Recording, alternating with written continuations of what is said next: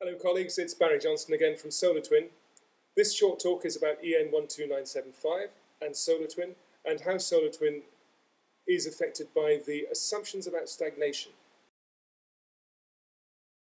I hope it will give some insight into uh, polymer technology, but also into the standard EN12975, which several of the manufacturers have found to be market limiting. Presentation will take this structure. We will look at the technology, then the standard, then look within the standard at five durability tests, and then focus on one test, and then look at the changes that should be done. Looking at the technology first, Solar Twin has got twin technologies because it has a large thermal panel and a small PV panel.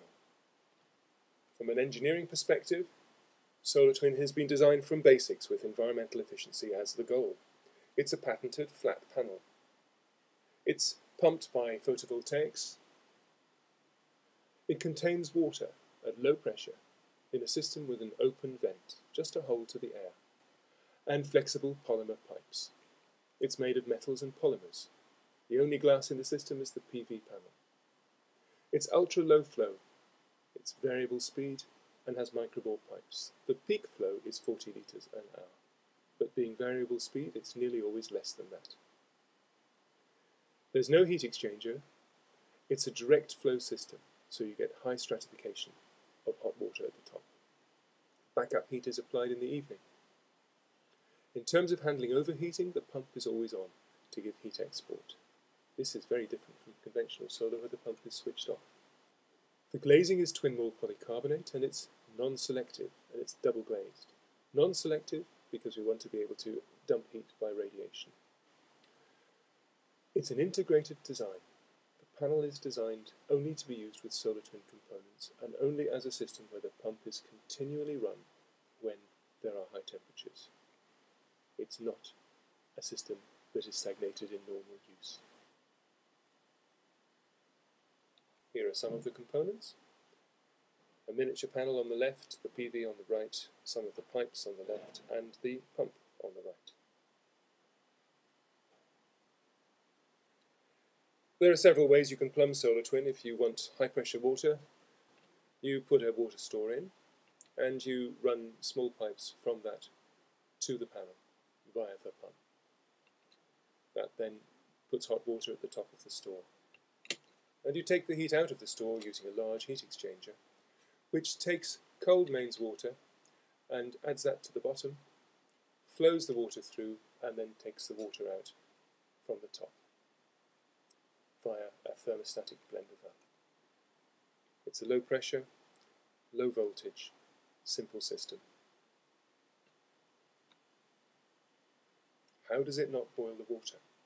It doesn't boil the water by making sure that you have the right panel area in relation to the water storage volume so that you have a thermal buffer. Here's the worst case scenario. We took a panel and we gave it to an independent test house. And they put the panel facing south on an airfield with a very good view of the sky. And they did it during a heat wave, lots of sun, high temperatures. And they didn't take any water off for a long time. What happened? If you look at the red line, that's the sunlight level. If you look at the blue line, that's the panel temperature. And if you look at the yellow line, that is the temperature of the top of the cylinder. You'll see that the panel doesn't reach boiling, but it did reach uh, just over 90 degrees Celsius. The water in the top of the cylinder never went more than 90 Celsius, the peak was 1887 Celsius. What is very interesting is to look at what happens between the yellow and the blue curve, that's the cylinder and the panel, at about mid-afternoon because they cross over. That means that the top of the cylinder is being cooled down, and later in the day the system is actually exporting heat. So if you look at the yellow line, which is the water temperature from left to right, it cools off gradually at night because no insulation is 100% good. It cools off quite a bit early in the morning because cooler water than the top is being added. but you can see, the grey line at the bottom of the cylinder rises up. And then it rises steadily till mid-afternoon, and then it falls at about the same gradient. And you end up in the evening with water at just over 70 Celsius in the cylinder, just as you did at the beginning of the day. It's a self-sustaining, self-correcting system. You don't need to switch the pump off to control overheat.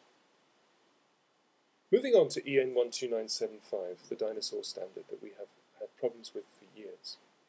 It's one of several European standards, EN series, on solar thermal in Europe, and they're treated as a gold standard to which the industry must conform. As exclusive gateways for Solar Keymark, national building codes, most national market support programs. Our technology faces market restriction because EN 12975 is being misapplied to our panel. Tests that are not appropriate are being treated as appropriate, and that means that our panel could fail them. This is a general issue. It affects innovations in general. Unless EN 12975 is removed as a sole gateway, in the sense that other standards can be used, or if it is possibly changed, the rest of the world will overtake Europe as innovators. We have not had a good return on investment because our market has been severely limited by this standard. What does the EN12975 test? Well, it tests solar collectors, certain kinds and certain aspects of them. It does test standalone collectors, not integrated systems. But it doesn't test annual system performance or sustainability or the independence of a consumer to be free from backup heating. But it does test two main things about solar panels alone. Performance, and that gives you a formula, a quadratic equation with three numbers which characterize it. And it also tests durability, whether there are up to eight tests with pass or fail criteria for each. We're going to be looking mainly at one durability test today. But stepping back before we do, the dinosaur assumptions in, in EN 12975 are that the quadratic equation will characterize collectors correctly. It won't if there's a thermal step change. A thermal step change is something like the use of thermochromics to control temperatures, or, for example, a thermostat which opens at a certain temperature, which will maybe allow air to vent through a panel and cool it. That is not a constraint for our technology, but it is for other technologies which use solar thermal and polymers. The next four do constrain us.